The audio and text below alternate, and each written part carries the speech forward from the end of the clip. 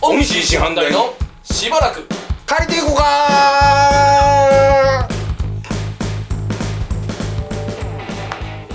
やっぱりしっくりきますね。難しいやろ。難しいです難しいね。今回あの初めての試みで逆にしました。これでもそもそも割り振りなんで決まったんでしたっけ？いやなんか適当に始まったから覚えてないな。そうですね。あのこの番組は大阪交響楽団チューバ奏者尾道師範代こと塩見弘明氏を招いてさまざまな話題について語っていただきチューバやチューバ奏者について皆様に発信していくという日本で数少ないチューバトークバラエティ番組です、はい今回は言えました。この間ちらっとお聞きしましたがはい。全く反応ないですか？あのカラオケチューバについて。カラオケ中誰かに一人ぐらい。いや反応ないねもらんのんない。なんか触れたらあかんのかと思われるぐらい思われてるんかなと思うぐらい反応が悪い。悪くはないねんけどね。多分みんな見てるよね。結構見てくれてます、ね。あの再生回数はあの 演奏してない回に比べたら演奏会はあのよく回ってます。結構回る。はい。やっぱりみんなそのボロボロボロになってるからこう声かけたらあかんのちゃうかなとかって思ったりしてるじゃない？僕は知り合いに「ようや OK 出たな」って言われました。まあ、OK 出るというかもう、まあ、やってみようみたいな実験的なやつやからね、まあそうですね。またやりましょうね。うん、まあまあまああ。声裏返ってるけど。よろしくね。あの、この間あのやった中の曲の一曲をうん、一生懸命楽譜書きました。おうまた渡します。おうおうすごい。またどっかで。リベンジしてみましょう。そうだからボロボロになった曲とかをあの勉強してちゃんともう一回演奏するっていううん。機会を作る。そうですね。リベンジとか。あの今回も本編長くなりそうなんではい。オープニングは、この辺にして、まあこの辺にして、うん。今回のメインはこちら。ででん師範代写真館。はい。in アイスランド。2今回は観光。はい。ですね。だから2週間え2週間滞在でしたっけ？そう2週間向こうにいててえーっとまあその仕事と仕事の間に4日間あのフリーの日があったので、はまあその辺でこういろいろ街を裏うろちょろしたりあのロストロンボのデイビッド・ボブロフっていうおっちゃんがあのドライブで連れて行ってくれたり、うん。で僕があの単独で申し込んでたバスツアーっていうのもあって、はい。まあそれであちこち行った写真とか映像をちょっと見ていただけたらなとはい。思います。そもそも出発からだいぶ大変だった、あそうそうそうそう。話を聞きましたね。え、っとねあの本当に大変で関空から成田に入ってで成田で、えっとトランジットの時に、えっと JAL で行ったんですけどその JAL のカウンターで、まま、前で待ってたらあの放送があって4時間遅れますっつって。で4時間遅れるっていうことはちょっと待ってよって言ってあの JAL って成田からフランクフルトに入ってフランクフルトからアイスランドにっていう便やったんですね。でアイスランドに着いたら現地時間の、えー9時ぐらい夜の。夜の9時ぐらいなんで、まあ、まあまだバスもあるし街中にも行けるし。で鉄道が通ってないのでバスでしか街に行けない。うん。なのでそれが遅れていった時にバスがなかったらどうすんねんってうんいうのとそれから遅れていった時にフランクフルトからアイスランドに入る便がなかったらうん。翌日とかになったらもう仕事間に合わへんかったらやばいからっていうんでもうそこでもうカウンターに詰め寄ってうん。でこれどうなるんですか？ちょっとこれおあの調べて教えてくださいって言って一応それで対応してもらって、えーフランクフルトからアイスランドに飛ぶ便を4時間後にずらして行ける便を見つけてもらって。はい。でもともとそれアイスランド航空で行く予定だったんですけどそれをまあルフトハンザに変更してで、えー、となんとかその日のうちにはい。アイスランドにたどり着けては夜11時過はい。ぎにアイスランドにたどり着いたんですよ。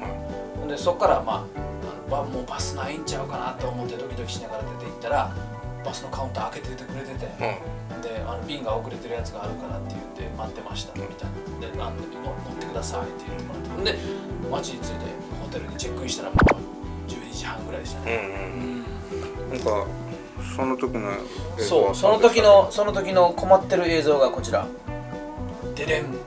えー、ただいま成田空港に来ておりますが。あ成田なんですね。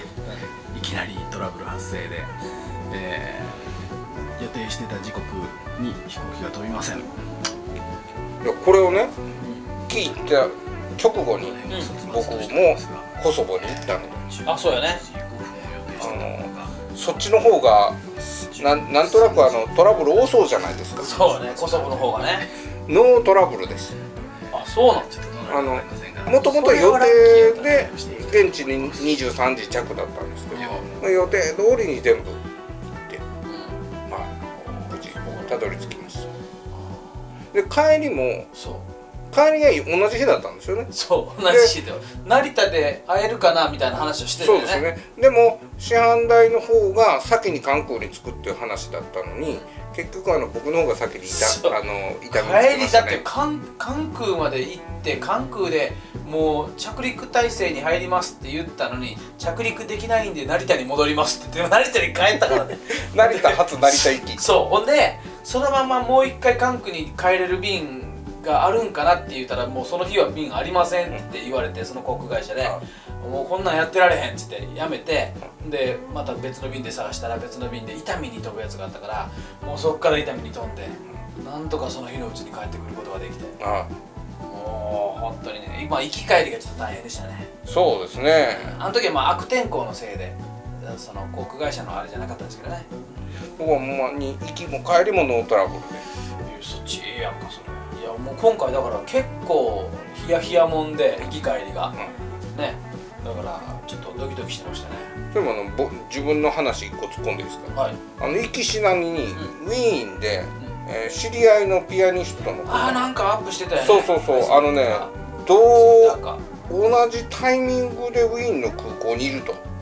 で5秒会いました その写真はこちらで、えーとピアニストのマンタニエリさんという。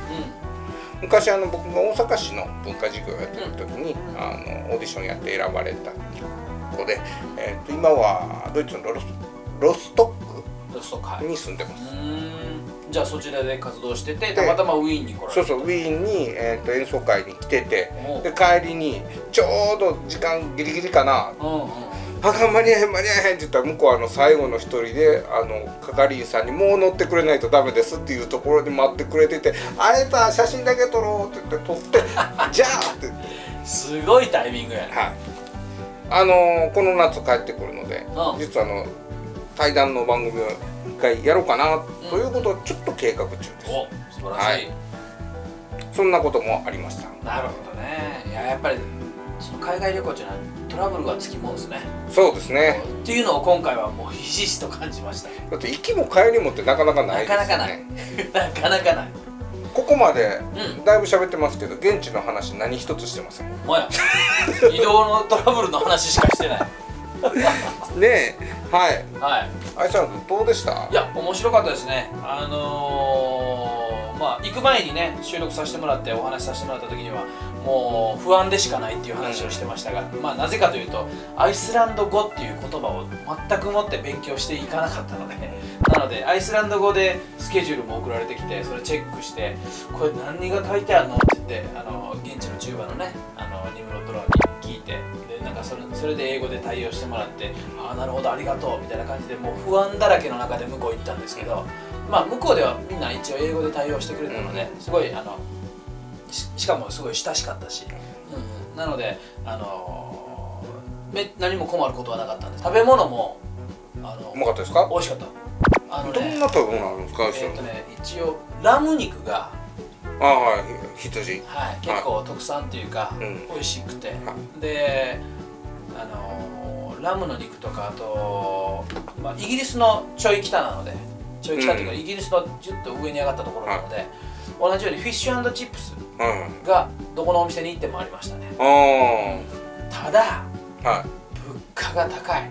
どれくらい日本の倍から3倍ぐらいあって、あのフィッシュチップス1人前。そう。で大体1800円ぐらいです。あの大手のハンバーガーチェーン店とかじゃなくて、普通にお店に行ってハンバーガーを食べようとすると大体それでね1600円ぐらいするんですよね。えでもなんかゴージャスな感じのやつ？いやいや全然普通の。ああそうなんや。そう。えっ、と観光に行ってる間にお昼ご飯食べに行ってた時のあのハンバーガーと,、えっとそのラム肉のスープを撮った映像があるのでこちらご覧いただきましょう。こちらどうも。ラム肉のスープとまそうやろ。まあそうですね。ただポテト多いっすね。そう。でこれだけで2000円を超えんねん。マジですこれで2500円ですね。あのコソボのね物価がね激安でした。それ羨ましいあのー、お店でねこういう水を買うでしょ、う水買うとね大体ねえーっと20ユーロセントぐらい。ん。これが0.2ユーロ。わでよあのーランチ食べに行ったらまあ大体3ユーロ以内に収まるすごいね。それめっちゃ安い。いいな。その安いところでもう気にせず腹いっぱい食って飲んでしたい。そうですね。で一応ねあのフェスティバルの主催者から、えー、とランチとディナーのミールクーポンが出ててこの店で使ってって言うんですけどお世話になったボランティアの人がいていやつがいたんですけどまた写真に載せてます。でその彼を一回ちょっとちゃんとしたご飯招待しようって言ってまあ誰かがネットで調べて一番その辺で美味しそうなところ行ってで僕もね結局ボトルのワインとかも1本何人かで分けたりとかしてこんなげんこつみたいなステーキとか食ってでみんなで1人20ユーロいかへんぐらい。ええなあそれ。もうほんま本気出して肉とかで食べたらはもう7000、8000するから普通に。いやばいっすね。やばい。だから前もって全部下調べしてでここの店が一番安いかなと思いながらこう美味しいもの食べに入るみたいな。はなんかそういうのが多かったね。であのまあその4日間のは仕事仕事の間のフリーの日の間に、えーっとまあ、観光に行ってきたんですけど、はい。まず最初にバスツアはーに参加してきて、はで、えーさっき見てもらったのがそのお昼ご飯でうん。これね、あのーラム肉のスープと、はいあのそのポテトとそれからハンバーガーみたいなのを食べた時に、えーこれはバスツアーの合間で食べたんですけど、うん。バスツアーの一番最初に行ったのがこちら。見ていただきましょう。どうぞ、バスツアーに乗って45分ぐらい街から45分ぐらい経ったところにシンクベトリルというシンクベトリルっていうシンクベトリル、うん。湖と広い湖とここにね地球の割れ目。はカメラに収まりきらないですよね。わかる。これドワーって地球の割れ目がここにあるねあえこの地球の下。割れ目があったり。深いんですか？ガーって割れた、その。多分深いんやと思うねうん。でそれがいくつもバーって割れてて、はで割れてるところに道を作ってみんながそこを歩いてええっていうようになってたりすごいですねほんまにひび割れてひび割れてできてる。感じここでこの割れ目に向かって叫んだらどの国の人に聞こえるんですか？オーストラリアぐらい。もうなんかええ光景見ながら適当なこと喋って ほんますよまにねほんまに。ああでもやっぱり自然が。自然が豊富なんよね、うん。すごい大自然。でその次に訪れシンクベトリルから、えーその次に訪れたのが、えー、とゲイシールっていうえっ、と間欠泉。はいはいはいはいわかりますかね？あのシュードバーンって吹き出すやつね、えーそれの映像も撮ってきましたのでこちら。おい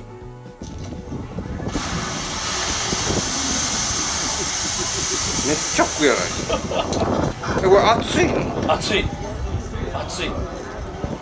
あこの温間テレビで見てたらあの出川があの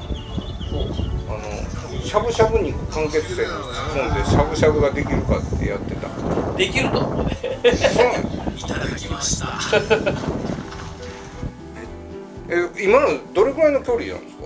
いやもうもう目の前10メートルぐらい。もう熱気が来るぐらい。あうんそこまでけえへんけどね。あら？そこまでけえでも風向きによってバーってこっちに来たりしたらあうん暑いと思うけど。でも空気自体もちょっと寒いからうん。わーって上にある間にちょっと冷めるんじゃない？ーうん。えっとこれだから6月の6月で気温どれぐらいなんですか？10度11度ぐらい。だから上着がいる。ああ冬冬の始まりぐらいの感じですそうね。ねこっちは暑かったです。うん暑いやろねそれはい。もうだ汗だらだらでした。もう空気乾燥してるのでマシって言いながらもう日差しがね痛い。ああのちょうどローローマと同じぐらいのあうん。緯度緯度。え？緯度。経度？え？緯度？いい度。緯度。だったんでうん。あそれはまあ暑いはずやなそうで今の間欠泉を見て、はい。その後に大きなまあ大きなというかすごいひ幅の広い滝はい。を見てきたんですね。グトルフォスっていう。はい。フォスっていうのが滝っていうことらしくてグトルフォスっていう滝を。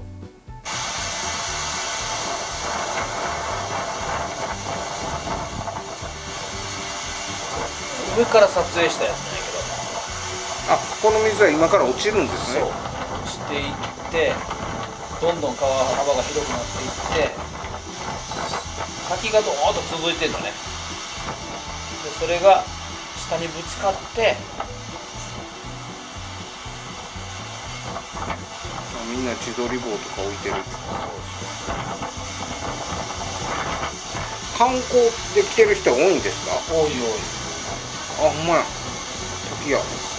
でこれがその火の当たり方によってはそのわーってなってるあの、のが光に当たってこう虹がそこに現れたりするっていう、僕はあのほぼ首都にいたのでうん、何も。観光するものは。あ教会とかモスクとかそういうののあのね 一日だけオフで移動したんですけどどの町にも必ずモスクがありましたああそうやろね。基本あの人口の何 大半がイスラム教の人なんでうん。ただ緩いんですよ。あ。その厳格な人たちじゃなくてうんと普通にあのレストランではお酒も出るしそんなにみんなこうなんかあのよくイメージするようなイスラム教の人みたいなんじゃなくて普通の格好だしそんなにみんなお祈りしてる感じはしないけども時間帯によってはモスクからはあの放送が聞こえるんですよ歴史背景的には、はい。そのコソボのあたりのあの辺っていうのはどうなのそのどこかの支配下にずっとあったとかそういう。あのーしセルビアは今でもコソボをセルビアの一部だって言ってます。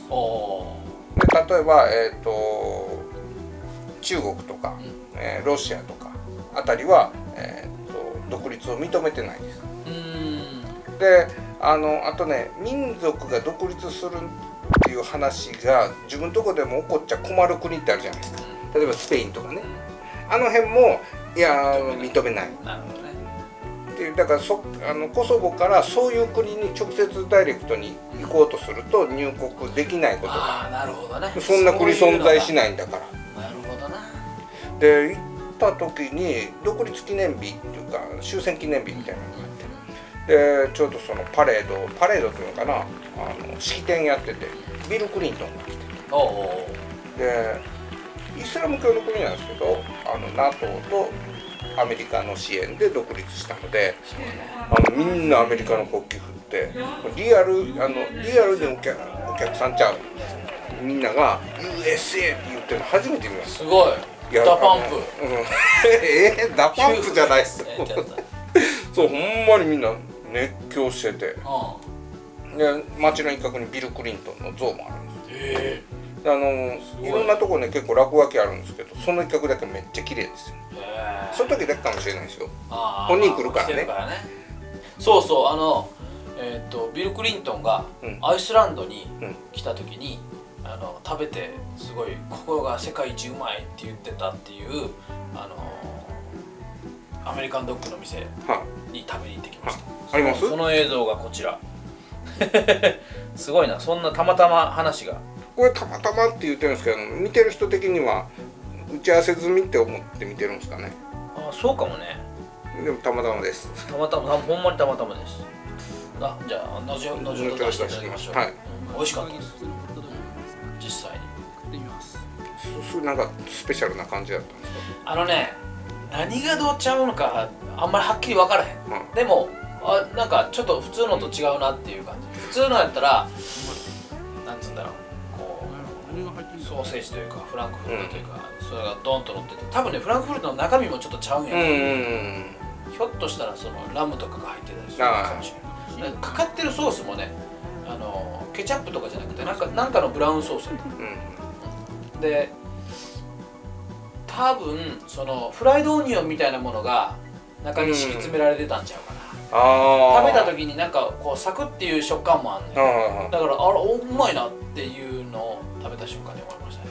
あでも高いんですか？えっとねそれはあんまり高くなかった。へえ。うん。それは、えっと、コーラも一緒に頼んで多分500円ぐらい。うん。そんな普通に僕らがマクドナルドで食べるような感覚。でしかもね向こうあのアイスランドねどんなちっちゃい店でもカードで払える。ああそれはいいね。だから僕ね向こうで換金してないの。アイスランドクローナっていうその通貨があるんやけど換金しないであのそのまんま全部カード払いで行けましたね。このほぼ現金でしたね。ああまあほぼ現金なんですけど10ユーロの札を崩したらかもね減らないんですよ。もうああとあと小銭でずっと払えるから。うんいいなあそれいいな。やっぱねあの海外旅行の行き先としてコソボがおすすめかって言われたらそんなにおすすめじゃないです。ああそう。あのやっぱりみんなねうん。例えばパリとかうん。ねうーんニューヨークとか行きたいじゃないですか。あのみんなが行く旅行先ね。で行ってでなんか結論ものいろんなとこ行ったけどちょっと変わったとこ行きたいなっていう時に行ったら面白い。行ったら面白いと思う。なるほただね物価安いって言ってもそのすごい成長の過程にあるんで23年していったらものすごい高いかもしれない。ああここから先上がっていく可能性があるあの向こうでボランティアの子が言ってたそれ何年でって聞くの忘れたんですけどなんか600%ぐらいの成長率すごいなそれ。言っててだからもうあのすごくね活気はあるんです。なんか頑張ったら頑張っただけどうにかなるっていうのがあるから。じゃあもう国としてはもうものすごい成長していくん。と思うね、ただやっぱりちょっといびつになっていくじゃないですか、そういう時って。のはなんかすごいあの大変なんだって言って教えてくれてたボランティアのスタッフたちがすっごい大人びててで別にその言われたことだけ手伝ってるんじゃなくって観光とかそのいろんなことをわーって喋ってくれるんですけど「え高校生?」ほあ。しっかりしててあこんな子らいると伸びるやろな。うまあそうやね。将来楽しみやね。ただじゃあ日本好きやね。って言って、じゃあおいでよって言うじゃないですか。でもビザが出ないああそうなんや。そう。国から出られないんですよ。ああそうか。僕はその話を聞いてなんか何かって書いたような気が銀河鉄道999の鉄道みたいな。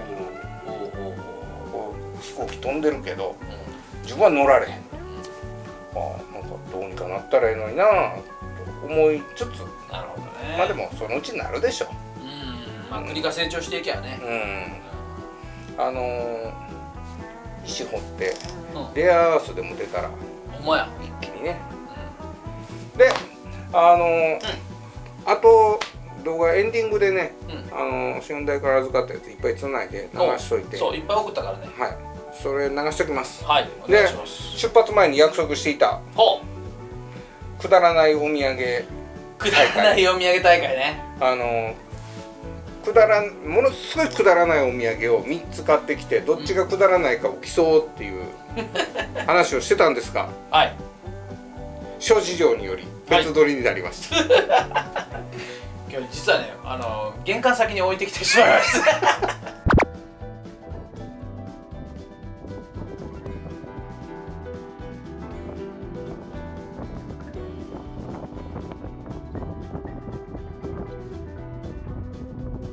クレーターというんですかね。それを見にやってきました。うーわおこれはすごい。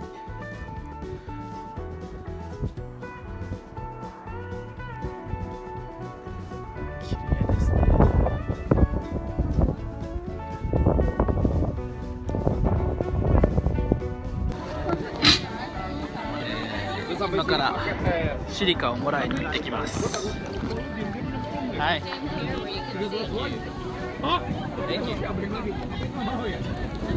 こうやってシリカをいただいて顔に塗ったくっていきます。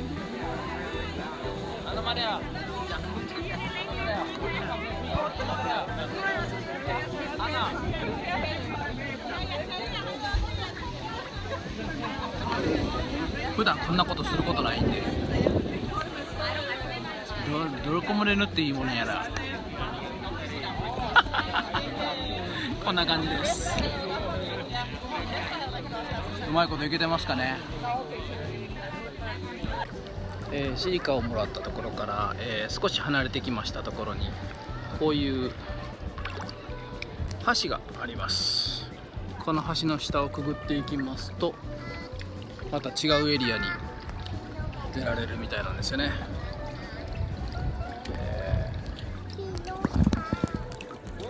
またこのように新しい新しいエリアがやってまいりました。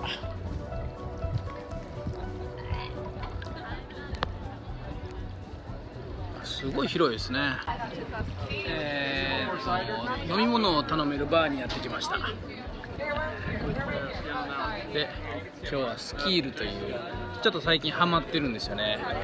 あのスーパーとかでヨーグルトみたいな感じで売ってるそのスキールをいちごのスキールを、えードリンクにしたやつをもらいました。どんな感じかいただきます。